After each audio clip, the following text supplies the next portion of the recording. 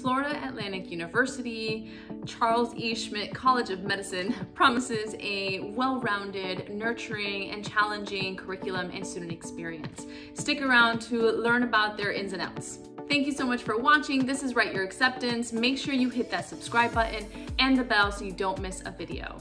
So doing your due diligence to really figure out what medical schools you're going to apply to is key, right? Obvious. But really finding out the particular kind of strengths for each program and what they offer and how they're slightly potentially different can be key not only to figuring out where you see yourself and your best fit, but also kind of for your secondaries, especially for the why us essays. So this video hopefully is chock full of information for you to really figure out kind of program, best fit, and the kind of valuable um, details that differentiate each program. So right from the outset, the website has two brief videos and they'll kind of give you some profile information. There's about 64, 65 students per class. Their first graduating class had 100% match rate, which is huge, it's great. And they engage medical students at FAU, engage in clinical experiences from year one. So they have a very kind of hands-on experience, but they also have a very nurturing side. And uh, one of the, a couple of the students kind of reflect on how teachers, how professors are incredibly nurturing, and they're constantly checking in on them and how they're doing. And so, so you get that kind of snapshot very quickly. But let's talk about different points so that we can kind of break down some stuff. Hi, my name is Dr. Josie. This is Write Your Acceptance. After working with hundreds and hundreds of students and teaching college writing for the last 15 years, I know what the outcomes are looking for, and now it's your turn. So let's get started with um, learning about FAU and seeing if this is a good fit for you. So point one is a robust curriculum. So they use a problem-based learning. It's very hands-on. They use kind of patient simulations to kind of talk through things that, lessons that they learn. Problem-based learning curriculum is then reinforced with kind of hands-on simulation on patient cases. The anatomy class consists of eight students per cadaver, so and a couple of professors kind of roaming around, so you definitely have a lot of hands-on experience. And like I mentioned, there's a state of the art kind of simulation center with mannequins, and there you can take history and treatment and physical diagnosis, and you learn how to suture and run a code. You even learn how to deliver a baby. So it's very kind of hands on for the students, which is great. And so here are, and I'll share this as a document too, right, and link it below, the clinical curriculum for year one and two. So this is a lot more information for you and how it begins with the kind of foundations of medicine, professionalism, ethics, cultural competency, communication. So it goes into that clinical curriculum and those foundations. And then the College of Medicine also integrates five threads throughout the curriculum. And so these are important. So this is important information, not so much for you to be able to regurgitate it because I'm putting it um, below, but it's important because it'll allow you to have the language that they use to talk about themselves and reflect upon their kind of role within medicine and preparing the next generation of physicians.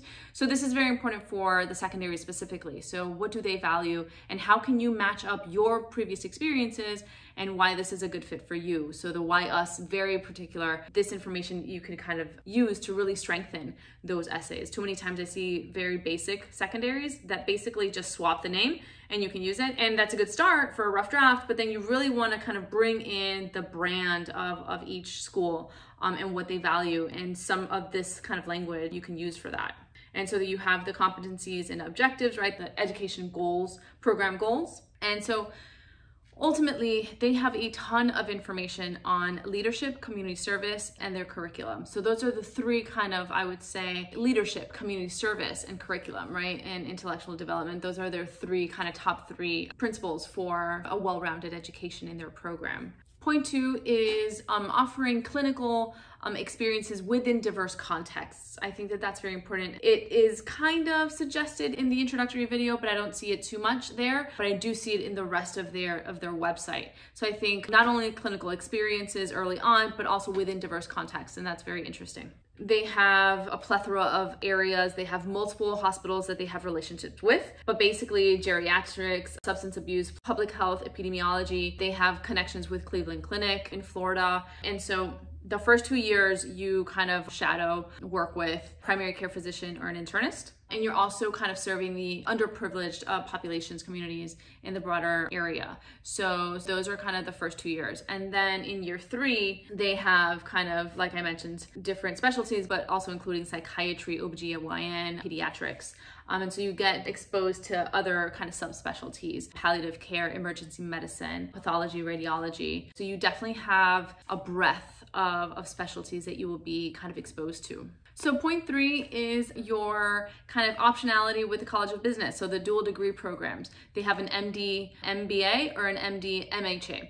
And so the MBA class or the College of Business classifies the MD as like a concentration. So like if you were a finance major or have business background in your undergrad kind of career, you have certain prereqs, then you only need like 36 credits. If not, you have some prereqs. The MHA does not require prereqs. And so they have, and I'll link this below, the application process. Basically, like first year medical students kind of can start the application process. And then second, third, and fourth year medical students are encouraged to start the application at least four weeks prior to the semester in which they would like to take the business classes.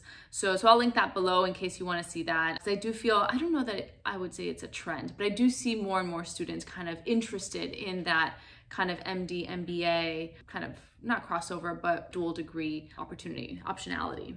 Point four, are there amazing research opportunities? So I will link this all below, but you have various, I mean, first you have information on the kind of plethora and breadth of faculty research. And that is very interesting because you can kind of, you know, mention a professor in that why a secondary, right?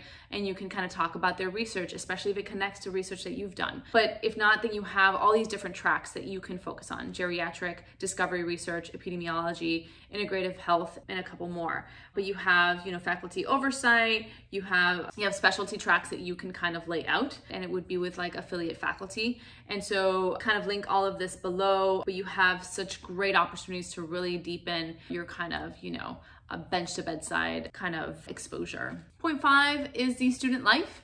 Uh, FAU on their website does a great job of really kind of showcasing their med students are not robots and that they have a well-rounded kind of, they foster a nurturing experience and they have all these uh, student interest groups and they celebrate kind of diverse cultural events on campus. And there are various student organizations and I'll link all this uh, below but you can kind of from medical specialties to internal medicine to competencies in medical Spanish to Jewish Association of Health and Medical Professionals. So you have a ton a ton a ton of student organizations that you can really kind of not only, you know, meet your fellow students and kind of nurture relationships with your future colleagues, basically, but also kind of have a reprieve from the everyday kind of hustle and bustle, right? Um, pressures of school. Are you applying to FAU or if you're watching are an FAU med uh, student, comment below, share your thoughts about the program, and yeah, thanks. Now some fun facts of like the class profile. This is on their website as of the latest that they've kind of tallied up. They had about 3,700 applications last cycle or two cycles ago. They're about 40% men, 60% women, 23% were underrepresented minorities, 68% were Florida residents. The mean MCAT score was 512 and GPA was 3.76 and number matriculated was 65. So it is definitely a small class, right? Where you kind of get to know most of your peers, or if not all. I also wanted to share some of the FAQs that I thought were interesting. They had a lot more, but these are kind of questions that crop up throughout the cycle of different schools that I kind of share information on. So I wanted to share that with you. So do we accept international students or DACA status? No, they do not accept international students, nor do we accept students that are foreign trained professionals or have obtained their higher education from another country other than Canada. So that is very important. We only accept US citizens and permanent residents of the United States.